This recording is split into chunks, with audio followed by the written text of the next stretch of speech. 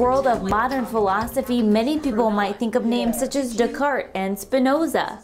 Professor Genevieve Migely and Noah Stern, however, are digging into the thoughts and words from an entirely different group of philosophers. We are studying women philosophers in the modern period of philosophy, which is basically eh, roughly I'd say like 1600 to 1800 CE. The deal is is that they've been left out of the canon of modern philosophical thought. Noah calls these women philosophers brave for challenging traditional beliefs at the time, especially revolving around the church.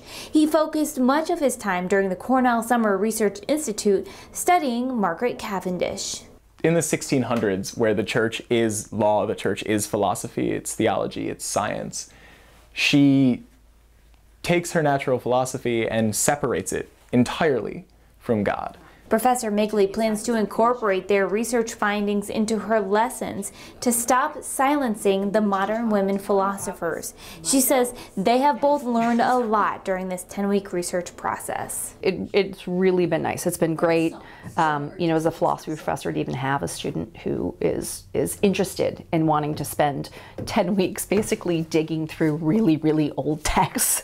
you know, it's not, you know, we're not researchers in the sense that we're sitting in a lab right? We're not out in the field, we're not collecting data, you know, we're not active in that sense. Um, it is a strong sort of devoted task to just delve into really difficult intense abstract work and and it's been really rewarding for both of us. I chose Cornell in part because I like to fixate on a topic until I think that I get what I'm going to get out of it and then I like to continue on to it but switch my focus from topic to topic and at a place where you get three and a half weeks of intensive study, that's perfect.